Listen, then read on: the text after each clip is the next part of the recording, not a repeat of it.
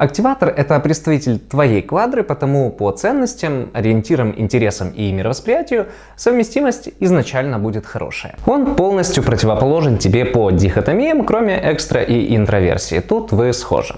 Если он экстраверт, то и ты экстраверт, если он интроверт, то и ты, соответственно, интроверт. Основное отличие от дуала — это рациональность. В активационных отношениях первый будет иррационалом, второй — рационалом. Это негативно влияет на совместимость, потому что эта дихотомия во многом многом определяет стиль жизни. Будет человек спонтанным аки ветер или последовательным аки шпалы.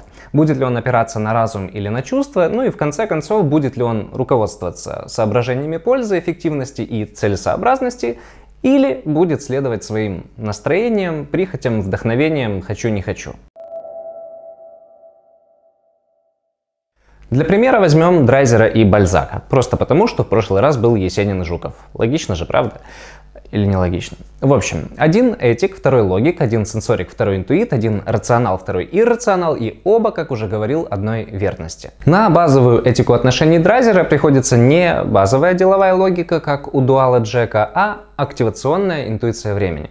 Собственно, как вы думали, да? Поэтому эти отношения и активационные. На творческую волевую сенсорику приходится бальзачья деловая логика. А у Бальзака по отношению к драйзеру такая же история, только наоборот. То есть сильные стороны активатора такие же, как и у его дуала, но базовая с творческой переставлены местами. На таблице это выглядит уже более коряво, чем в случае дуальных отношений, но на практике, поверьте, вы этого не заметить. Ну, хотя бы потому, что и на сугестивную, и на активационную функцию у нас одинаково большой запрос. Если человек их активно проявляет, ну, считай, дуала нашел. По болевым функциям тоже хорошее прикрытие, хоть и не такое же полноценное, как в случае дуальных отношений. Как мы помним, фоновая дуала страхует твою болевую и наоборот. Но в случае активатора вудрайзера в фоновой функции будет сенсорика комфорта, которая у Бальзака уже ну, не такая уж и болевая, хоть и слабая. А бальзачья фоновая структурная логика может и готова прикрыть наполеоновскую болевую, но у драйзера там уже не настолько все плохо. Его бы скорее по интуиции возможности прикрыть, хотя, с другой стороны, все равно сильные и слабые функции у активаторов взаимодополняющие. Так что, поверьте, на практике это небольшое смягчение аспектов каши не испортит. Лайфхак. Чтобы проанализировать благоприятность и степень дополняемости соционических отношений, всегда держите в уме портрет дуала. Чем дальше от него, тем меньше будет взаимодополняющих функций. Идем дальше. Если у одного активатора будет стимульная группа благосостояния, то у второго, соответственно, понимание. Это как драйзер или бальзак. Или если у первого будет статус, то у второго оригинальность. Это как Наполеон и Джек. Получается, что в первой паре будет два относительно пассивных интроверта. Один настроен на сохранение и поддержание, а второй на анализ и продумывание. А делать-то кто будет? То есть, с одной стороны, в паре Драйзер-Бальзак будет не хватать э, решительного, деятельного, амбициозного настроения.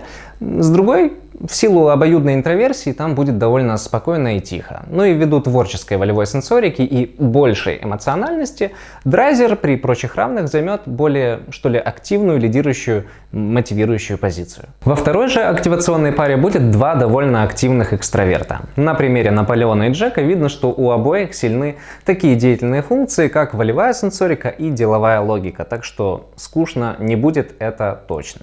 Оба не настроены занимать выжидающую позицию, обоим одинаково трудно проявить усидчивость, фокусность и терпение, ну и напротив, оба разгоняют друг друга, а охладить и остепениться как бы и некому.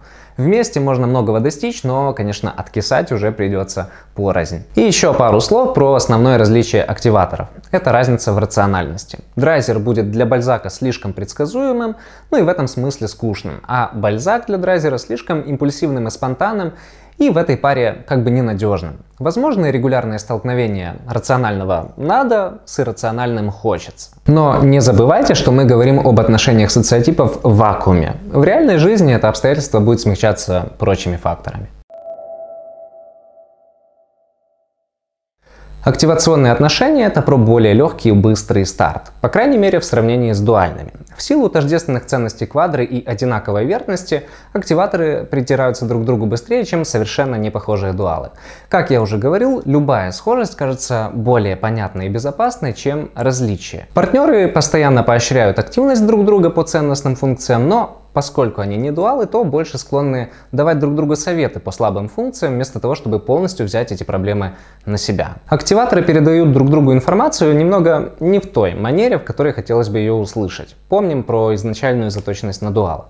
Одному информация может казаться чересчур абстрактной и неконкретной, а другому наоборот слишком грубой, заземленной, неглубокой. Ну, в зависимости от того, кто там интуит, кто сенсорик. От всего этого временами может наступать перегрев и так называемый пульсирующий характер отношений. Активаторам хочется то отдалиться, то снова приблизиться.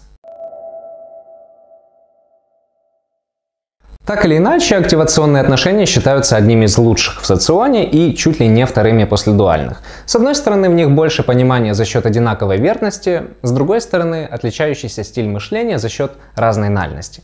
По-прежнему можно с уверенностью говорить, что активаторам будет хорошо и перспективно практически в любой сфере жизни, начиная с семьи, дружбы и заканчивая профессией. Я только напомню, что реальные люди не машины и никогда не стыкуются так же идеально, как механические шестеренки.